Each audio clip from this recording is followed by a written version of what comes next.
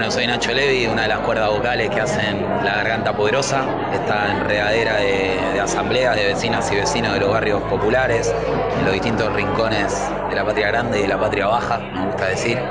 Eh, y bueno, hoy vinimos a levantar la voz con compañeras de,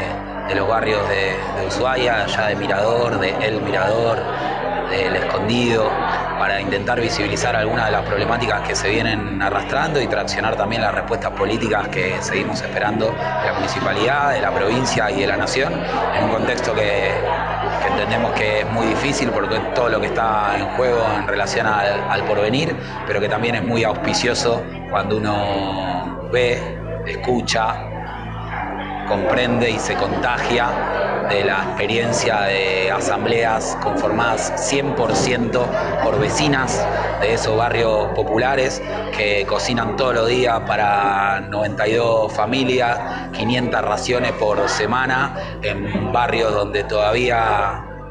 puede pasar hasta un mes sin agua, donde muchas veces se pierden viviendas por los incendios que genera cocinar con leña, así que vinimos un poco a aprender y a difundir el conocimiento de esas compañeras que muchas veces no, no es valorado o no es jerarquizado y hoy por suerte marcó agenda en, la facultad. Creo que en los ámbitos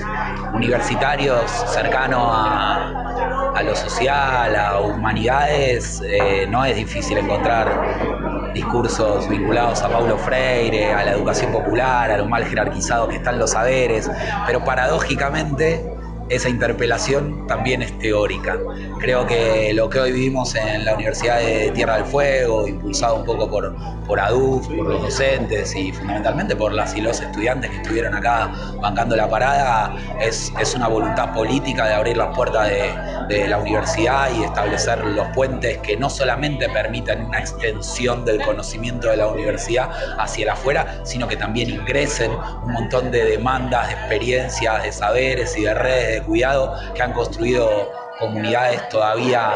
a las sombras de, de la periferia. Lo mejor de Tierra del Fuego arde ahí arriba, vayan a buscarlo.